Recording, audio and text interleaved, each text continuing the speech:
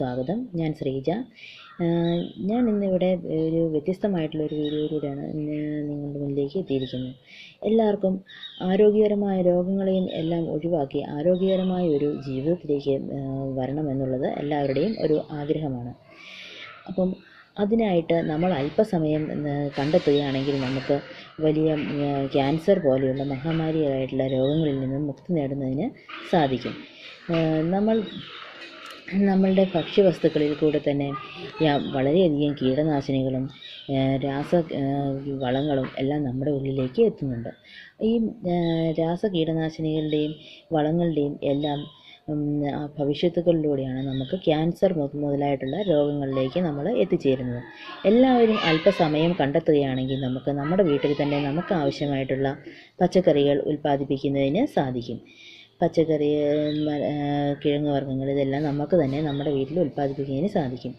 ഇത്രയും അളവ് കുറഞ്ഞ സ്ഥലത്താണെങ്കിൽ നമ്മൾ താമസിക്കുന്നതെങ്കിലും നമുക്ക് ഗ്രോ ബാഗുകളിലോ അല്ലെങ്കിൽ വീടിന്റെ പരിസരത്തുകളിലോ ചെടിച്ചട്ടികളിലോ ഒക്കെ നമുക്ക് കൃഷി ചെയ്യുവാനായിട്ട് പച്ചക്കറി കൃഷി ചെയ്യുവാനായിട്ട് സാധിക്കും.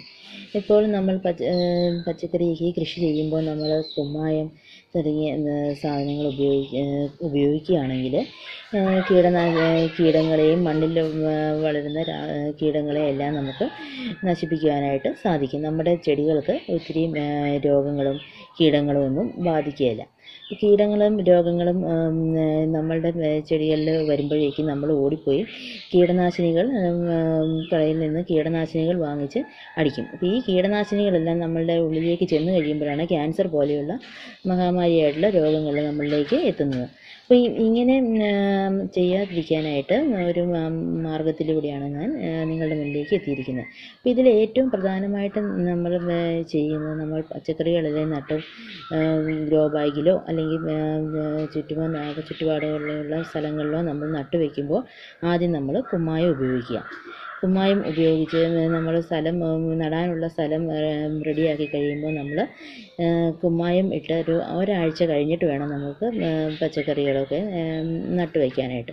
അപ്പോൾ കൂടുതലും നമ്മൾ ഇംപ്രൂവ്ഡ് സീഡ്സ് നല്ല വിത്തുകൾ വേണം നമ്മൾ യൂസ് ചെയ്യാനായിട്ട്. ഈ വിത്തുകൾ തന്നെ നമ്മൾ നടുന്നതിന് മുമ്പ് സ്യൂഡോമോണോസ് ലൈനിൽ മുക്കി വെച്ചതിന് ശേഷം നടുകയാണെങ്കിൽ നമുക്ക്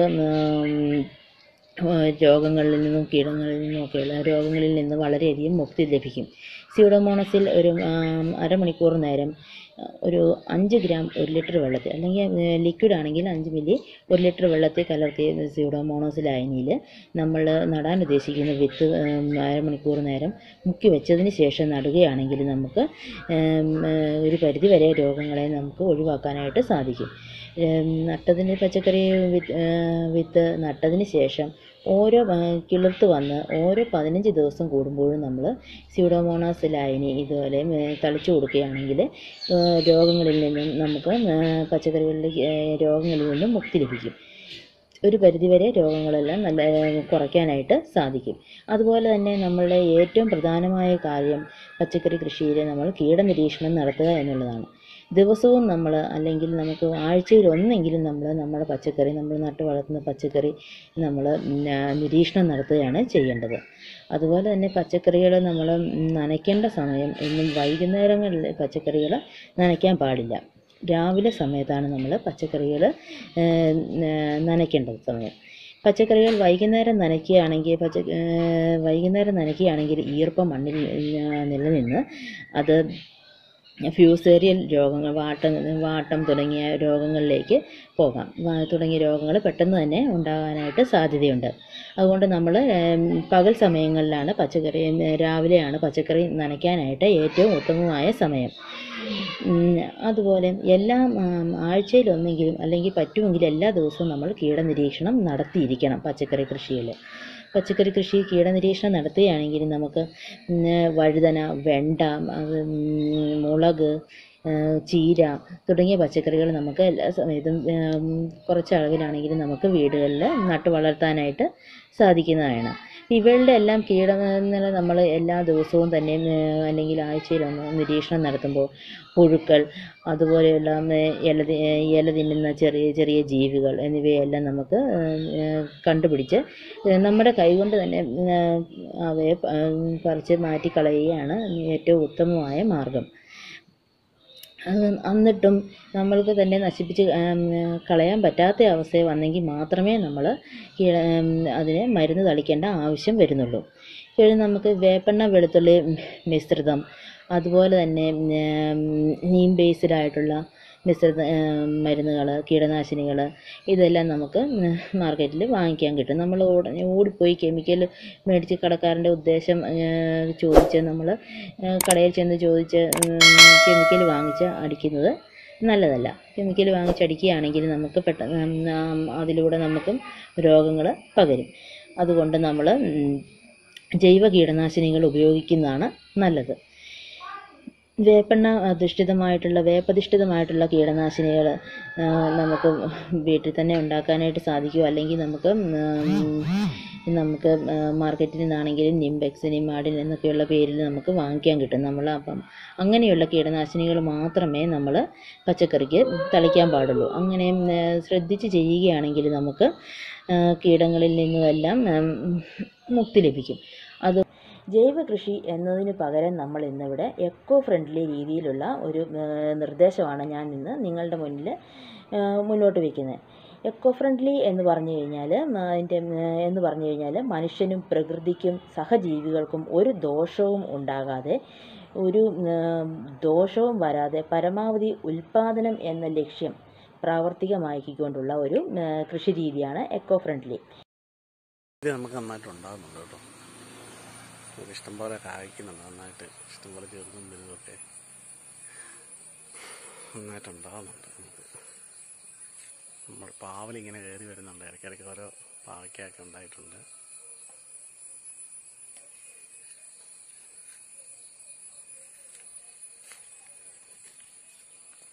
പാലക്ക പാലക്ക. ചീര.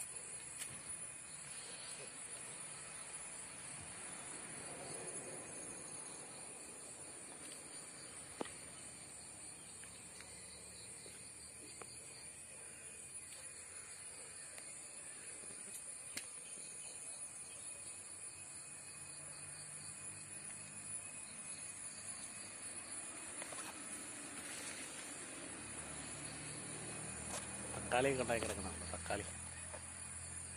തക്കാളിക്ക. തക്കാളിയെല്ലാം പൂത്ത് നിൽക്കണം.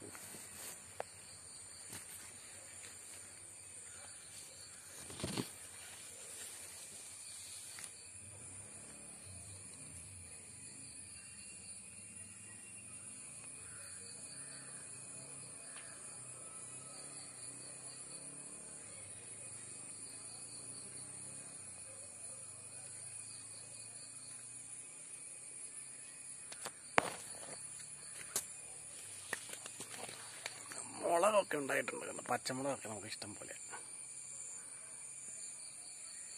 നമുക്ക് അടർത്തിയെടുക്കാൻ ഇങ്ങനെ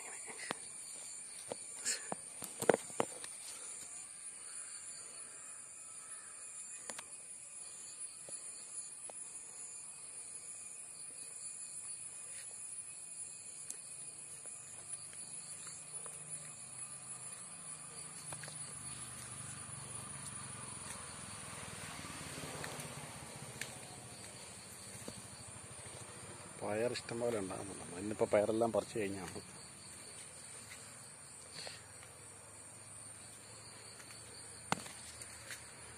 ഇത് കുറ്റിപ്പയറാണ് നമ്മൾ വള്ളിപ്പയർ ഇവിടെ സൈഡിൽ കൂടി എല്ലാം വള്ളിപ്പയറാണ് സൈഡിൽ കൂടി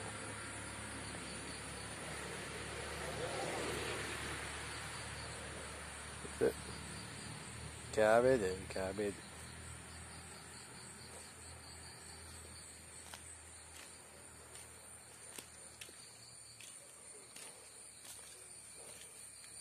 ഇന്നടത്താണ് പച്ചമുളക് പയർ ഈ രീതിയിൽ നമ്മൾ ഇംപ്രൂവ്ഡ് സീഡ് നിലം ഒരുക്കുന്നതിനുള്ള മോഡേൺ എക്യുപ്മെന്റ്സ് അതുപോലെ തന്നെ പുതിയ രീതിയിലുള്ള കൃഷി കാർഷിക ഉപകരണങ്ങൾ എന്നിവയെല്ലാം ഉപയോഗിക്കുകയാണ് എക്കോ ഫ്രണ്ട്ലി രീതിയിൽ നമുക്ക് വേണ്ടത്. അതായത് സംയോജിത കീട നിയന്ത്രണ മാർഗങ്ങൾ കീട കള നിയന്ത്രണ മാർഗങ്ങൾ എന്നിവയെല്ലാം പഴയ രീതിയുമായി സംയോജിപ്പിച്ച് കൊണ്ടുപോകുന്ന ഒരു കൃഷി രീതിയാണ് എക്കോ ഫ്രണ്ട്ലി കൃഷി രീതി എന്ന പേരിൽ നമ്മൾ ഉദ്ദേശിക്കുന്നത്.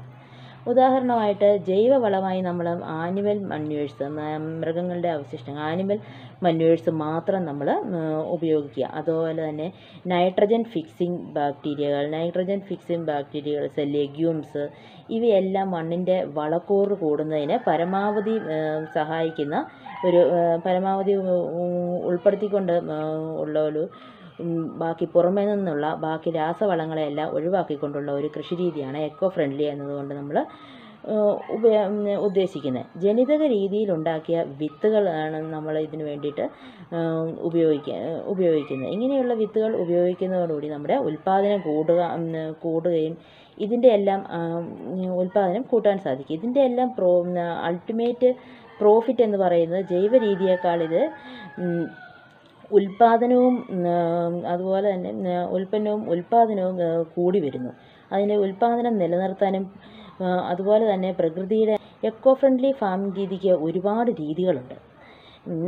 എങ്കിൽ തന്നെ കോമൺ ആയിട്ട് നമ്മൾ ഉപയോഗിക്കുന്ന മണ്ണിന്റെ ഫെർട്ടിലിറ്റി കോമൺ ആയിട്ട് നമ്മൾ എക്കോ ഫ്രണ്ട്ലി രീതിയിലുള്ള കൃഷി കൊണ്ട് മണ്ണിന്റെ ഫെർട്ടിലിറ്റി കൂട്ടുന്നതിന് സാധിക്കുന്നുണ്ട്. അതുപോലെ കീടനിയന്ത്രണത്തിനും ജൈവ രീതി അവലംബിക്കുന്നതാണ് ഈ കൃഷി ഈ കൃഷി രീതി എക്കോ ഫ്രണ്ട്ലി കൃഷി രീതി എന്നതുകൊണ്ട് ഉദ്ദേശിക്കുന്നത്. ഈ എക്കോ ഫ്രണ്ട്ലി കൃഷി രീതിയിൽ നാം കൂടുതൽ ഊന്നൽ നൽകുന്നത് പരമാവധി പരമാവധി നമ്മുടെ സ്വന്തം റിസോഴ്സ് നമ്മുടെ സ്വന്തം റിസോഴ്സ് നമുക്ക് കിട്ടാൻ ഇവിടെ നിന്നും കിട്ടുന്ന റിസോഴ്സ് സ്വന്തമായിട്ട് കിട്ടുന്ന റിസോഴ്സുകളൊക്കെ ഉപയോഗപ്പെടുത്തി നല്ല ഗുണനിലവാരമുള്ള എൻവിറോൺമെന്റലി സേഫ് ആയിട്ടുള്ള ഭക്ഷ്യവസ്തുക്കൾ നമുക്ക് ഉൽപ്പാദിപ്പിക്കുക ലാഭകര ഉൽപ്പാദിപ്പിച്ച് ലാഭകരമായിട്ടുള്ള രീതിയിൽ പ്രോഫിറ്റ് ഉണ്ടാക്കുക ലാഭകര ഉൽപ്പന്നങ്ങൾ ഉൽപ്പാദിപ്പിക്കുക എന്നുള്ളതാണ് നമ്മൾ ഈ രീതി കൊണ്ട് ഉദ്ദേശിക്കുന്നത്. മറ്റ് പ്രകൃത്യാ ഉള്ള എക്കോസിസ്റ്റം പോലെ പ്രകൃതിയുള്ള പ്രകൃത്യാ ഉള്ള എക്കോസിസ്റ്റം പോലെയല്ല അഗ്രികൾച്ചർ എക്കോസിസ്റ്റം എന്നത് അഗ്രികൾച്ചർ എക്കോസിസ്റ്റം അഗ്രികൾച്ചർ എക്കോസിസ്റ്റം മനുഷ്യനിർമ്മിതമാണ്. മറ്റ് എക്കോസിസ്റ്റം മനുഷ്യനിർമ്മിതമല്ല. അഗ്രികൾച്ചർ എക്കോസിസ്റ്റം മനുഷ്യനിർമ്മിതമാണ്. അതുകൊണ്ട് തന്നെ പ്രകൃതിക്ക് ദോഷമില്ലാതെ തന്നെ മണ്ണും വെള്ളവും മറ്റ് ജൈവ വസ്തുക്കളും ഉപയോഗിച്ച് വലിയ രീതിയിൽ ഉൽപ്പാദനം ഉണ്ടാക്കുക എന്നുള്ളതാണ്. ഈ കൃഷി രീതി കൊണ്ട് പ്രധാനമായിട്ടും എക്കോ ഫ്രണ്ട്ലി കൃഷി രീതി കൊണ്ട് നമ്മൾ പ്രധാനമായിട്ടും നമ്മൾ അഞ്ച് കാര്യങ്ങളാണ് നമ്മൾ ഉദ്ദേശിക്കുന്നത്. നല്ല ശുദ്ധമായ ഭക്ഷ്യധാന്യങ്ങൾ ഭക്ഷ്യധാന്യങ്ങൾ ഉൽപ്പാദിപ്പിക്കുക മണ്ണ് ജലം മറ്റ് ജൈവ വസ്തുക്കൾ എന്നിവയ്ക്ക് ദോഷമുണ്ടാകാത്ത രീതിയിൽ അവയെ സംരക്ഷിക്കുക. കാർഷിക മുറകൾ കൊണ്ട് പ്രകൃതിക്കുണ്ടാകുന്ന ആഘാതം പരമാവധി കുറയ്ക്കുക.